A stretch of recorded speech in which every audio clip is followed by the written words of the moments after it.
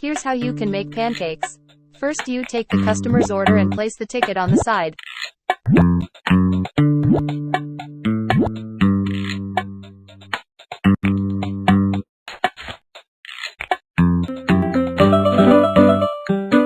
the batter and place it on the hot stove. If you don't know the batter, it's flour, milk, sugar, salt and baking powder. Then you add this to the hot stove and you cook it till it's orange. Then you flip this halfway through before you add toppings.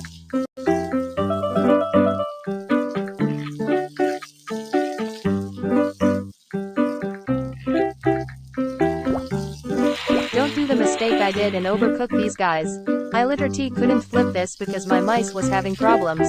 I had to deal with what I had.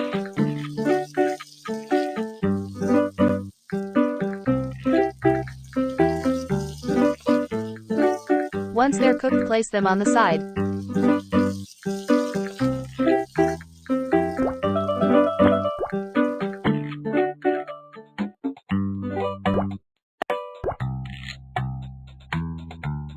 To assemble add butter 3 knobs.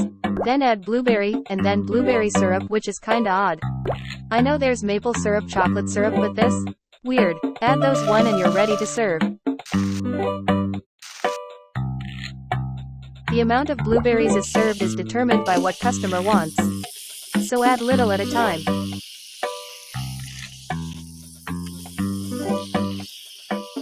Don't add too much, little because you want to taste the pancakes.